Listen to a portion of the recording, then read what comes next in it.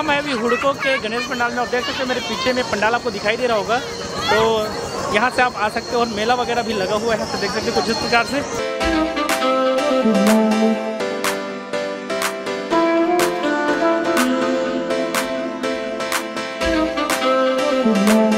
So guys हम हैं अभी हुड़को के गणेश पंडाल में, देख सकते हो कुछ इस प्रकार से पंडाल है, और यहाँ पर मेला लगा हुआ है, देख सकते हो। आप मेला का भी इंजॉय कर सकते हो, जैसे आओगे तो यहाँ से। सो गाइस आप देख सकते हो, ये है हुड़को का पंडाल और अभी हम आपको लेकर चलते हैं पंडाल की ओर। और देख सकते हो, पंडाल बहुत ही प्यारा सजा हुआ है।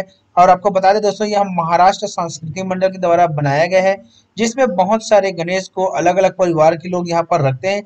लगभग सौ से भी ज़्यादा गणेश एक ही पंडाल के अंदर आपको देखने को मिल जाएगा। तो चलिए, आपको लेकर चलते हैं पंडाल के अंदर और दिखाते हैं कि किस प्रकार से यहाँ पर गणेश रखा गया है। साथ ही साथ आप यहाँ पर मेला का भी आनंद ले सकते हैं। तो चलिए, अंदर चलते हैं।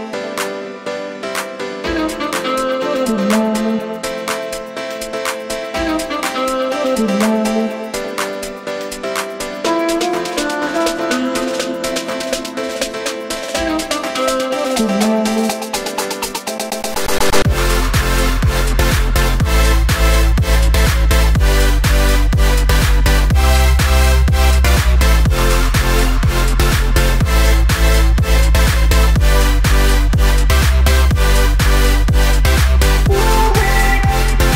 गाइस, आप देख सकते हो, यह है आपका हुडको का मेन गणेश का मूर्ति।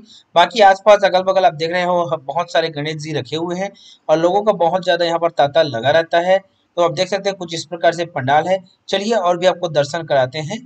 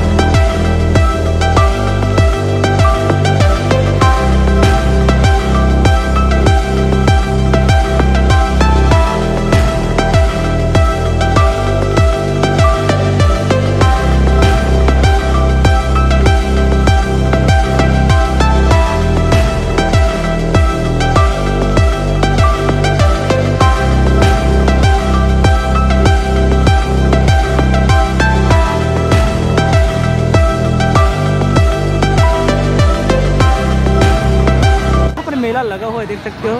आप मेला का भी इंजॉय कर सकते हो, जैसे आओगे तो। यहाँ से